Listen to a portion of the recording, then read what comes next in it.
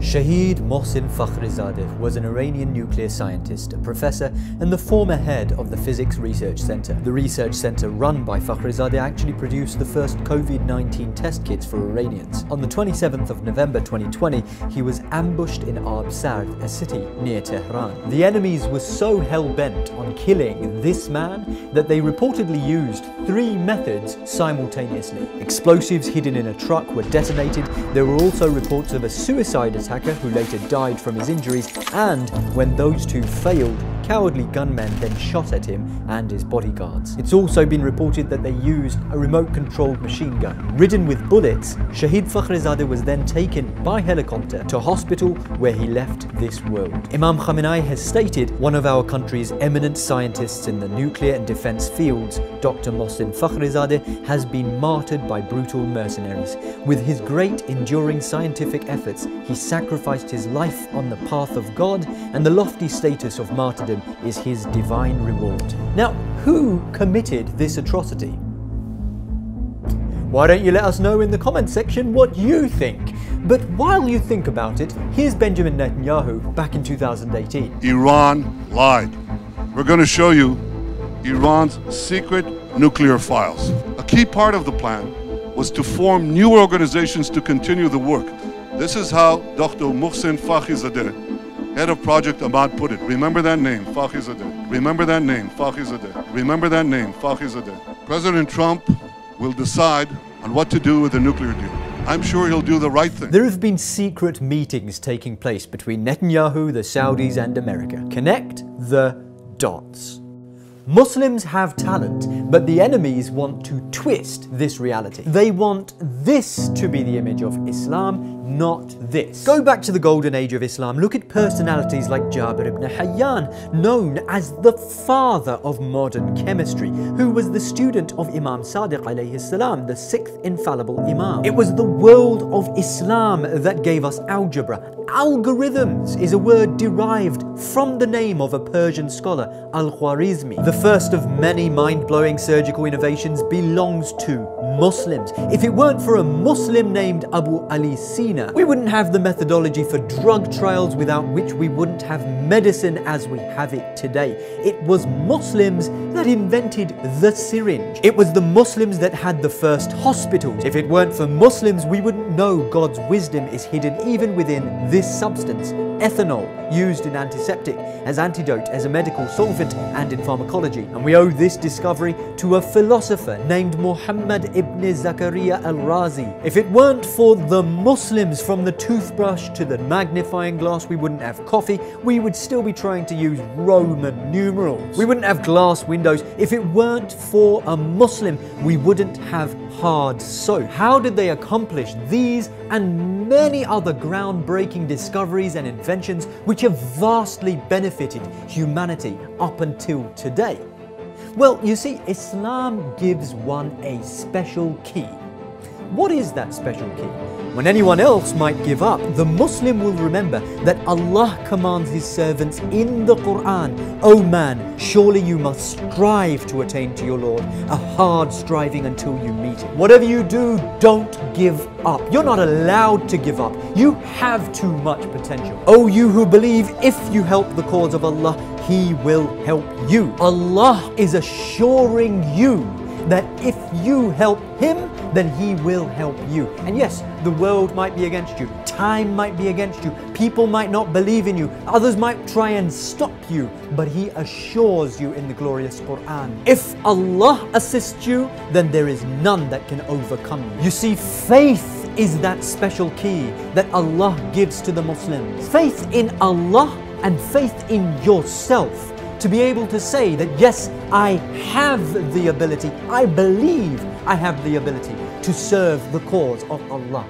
The enemy doesn't want you to have that faith. The enemy certainly doesn't want you to help the cause of Allah and to make the world a better place. How beneficial is it for the enemies to destroy your faith and make you think you can't make a difference. Whatever skill or talent Allah has bestowed upon you, as long as you are using that ability for the sake and cause of Allah, He will help you. And in fact, Islam has been training us every day, every moment to know that if you truly do believe and exhaust your blood, sweat, and tears in the path of Allah, you will win against all the odds.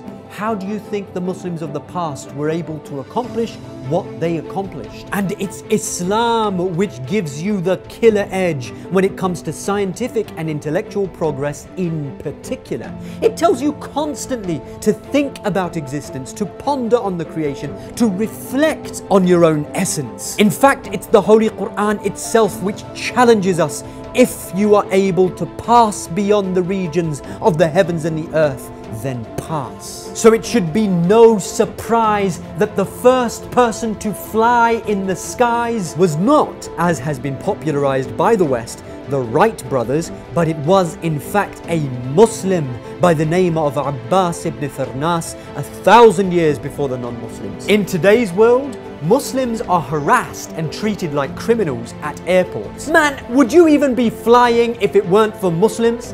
It is the unequivocal and undeniable reality that if the Western world, and indeed even the Eastern world, is technologically advanced today, then it is because of what the Muslims did for us yesterday. Muslims had the eye of the tiger. They had the special key. They had that perseverance and faith and self-belief and so they achieved scientific, military and intellectual feats because of which the world is benefiting even today. What happened to us? Where did that special key go? I mean, if you look at the Muslim world today, it's in ruins. What happened? Well, firstly, we stopped believing in Allah and in ourselves. We started turning and looking for help and guidance from the Europeans and Americans instead of relying on our own God given ability. Secondly, the Muslims were attacked left, right, and center. And because of our lack of resolve and lack of unity, the enemies defeated and humiliated us. And thirdly, the enemies assassinated our talented individuals. Just as today they assassinated Shahid Fakhrizadeh, the enemies have throughout our history killed the talented individuals of the Muslim world. Like Yahya al-Mashad, an Egyptian nuclear scientist and lecturer at Alexandria University who was killed in Paris allegedly by Israeli Mossad in 1980, and other Egyptian academics too. And like Dr. Athar Ali, a Pakistani system engineer and rocket scientist who was murdered in Karachi 2003, like Darvish Rezaeinejad, Iranian electrical engineer in 2011, and in 2012 Mustafa Ahmadi Roshan, an Iranian electrical engineer. In fact, when America invaded Iraq in 2003, hundreds of Iraqi Iraqi academics and PhDs were killed. The Iraqi Ministry of Higher Education reported that over 3,250 academics had fled the country between February and August of 2006. Throughout the Muslim nations, the enemy has been targeting the very people who have the God-given ability to advance the Muslim world. We need to stop running away from the Muslim lands. We abandon our homes in Pakistan, in Iran, in Egypt, in Syria, in Iraq. We abandon our roots, go and get an education in the West so that we can become their employees. And then we turn and look with disdain at where we came from. Gosh, look how backwards they are. Well, what right do we have to look down upon the Muslim lands when we were a valuable resource? But instead of helping to build our Islamic homelands, we abandoned them to go and work for the slave masters of the West, the very same masters who now bomb the Muslim countries. And then we've convinced ourselves that we can live comfortably in the West and we can be completely silent against the atrocities being committed by those governments. It's, it's crazy. Look, as long as you are putting your skills and your talents to use for their system, they won't have any problem with you. And they will even reward you. It's the moment that you put your skills and talents for the sake of the Islamic movement, that's when they will target you. Imagine if Shahid Fakhrizadeh had worked in America. He probably would have gotten scientific achievement awards and Nobel Prizes. It's because he was serving the Islamic system that he was targeted. Today, nobody is target killing Elon Musk or the heads of NASA or Apple or Google or any of the scientists of the Western world, while those great thinkers of the Muslim world are being categorically assassinated. Why? Because their worst nightmare is that the Muslim world becomes advanced technologically, ideologically, economically, media wise, and scientifically. But let me tell you, it will happen, inshallah. You might think that we're really advanced today, looking at all the different technologies and architecture that exists in the modern world, but you need to know that we are cavemen today compared to what the Islamic world of the future will accomplish. People forget that the imminent arrival of Imam Mahdi ta'ala sharif not only means that the world will be filled with justice, but also that there will be a global revolution of knowledge that will benefit all of humanity. Imam Sadiq alayhi salam explained that all knowledge is contained within 27 letters. And throughout all of human history, only two of those letters have yet been discovered. So then when our Qa'im al-Mahdi makes his advent, he will bring with him the other 25 letters of knowledge and he will spread these among the people. And today, people across the world have recognized that the only nation on earth which is openly preparing the grounds for that great final savior is the Islamic Republic of Iran. If you haven't recognized that yet, then shame on you, because even the despicable Saudi prince has recognized it. اسمه الأمير إيران في المستقبل حوار كيف اتفاهم مع واحد أو نظام لديه قناعة مرسخة بأنه نظامه قائم على أيديولوجية متطرفة حتى يظهر مهدي المنتظر منتظر هذا كيف أقنعه؟ هذا منطقة إن المهدي المنتظر سوف ياتي ويجب ان يحضروا البيئه الخصبه Now, people say about me, oh, he's just saying that because he's a paid agent of Iran.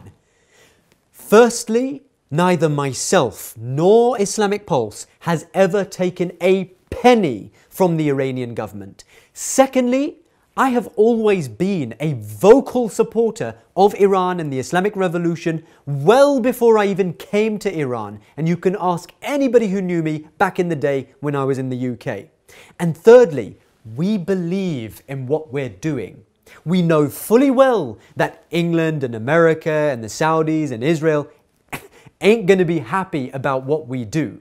But myself and my comrades are more than willing to make enemies with the oppressors for the sake of Muslims globally, for the sake of Islam, and for the sake of the cause of Imam Mahdi.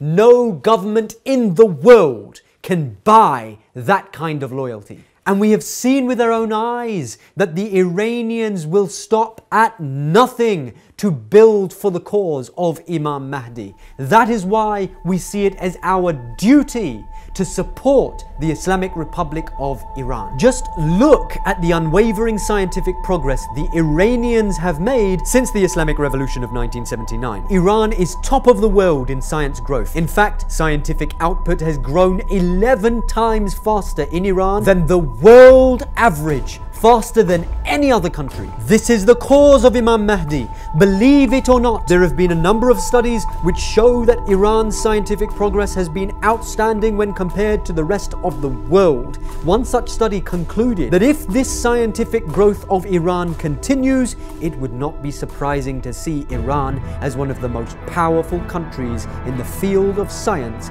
in the world. This is what it means to truly prepare for Imam Mahdi and to restore the dignity and the honor of Muslims and Islam globally. It's no wonder why the enemies are afraid of Iran's scientists in particular. And let me remind you, all of this has been accomplished after the Islamic Revolution of 1979, when Iran booted out the Western backed dictator, they rejected American hegemony and they united under the righteous Islamic scholar, the faqih. Because they did this and truly prepared, which was a necessary step towards the zuhur of Imam al-Mahdi. In the area of invention patents, before the revolution, Iran ranked 38th in the world. After the revolution, Iran ranked 7th. Before the revolution, there were only 16 universities throughout the country. After the revolution, there are at least 267 universities. That's more than double the number of universities in the UK. Before the revolution, only 154,000 undergraduate students.